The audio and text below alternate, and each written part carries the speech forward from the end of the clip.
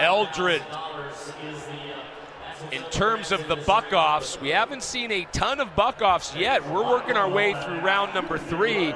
This is Luis Blanco against a bull, Mac, that we have watched really be stellar for a number of years, but lately, or at least the past few outs, they've switched up the delivery. Yeah, and for good reason. This is a bull, you're used to seeing him in championship rounds, 15-15 bucking battles. And he's getting some age on him. He started getting too close out of a right hand delivery, and it was messing him up. They've moved him over here to the left hand. I've seen him out here. He's still really good. Look for him out of a left hand delivery, fall out of here, go to the left. Might, might jump out of it, but he's a really solid pick in this round.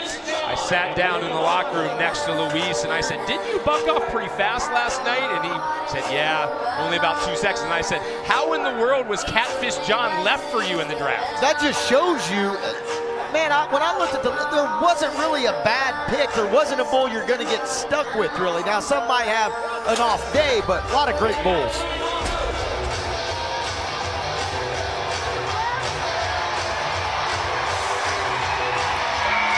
And there you go.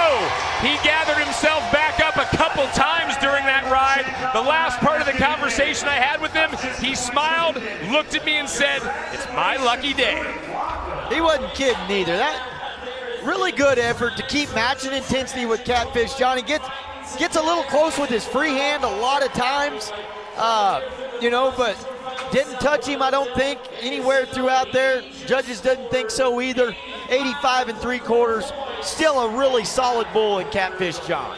Most importantly for Luis, that's his first qualified ride of the week and definitely something to build on. We have now had eight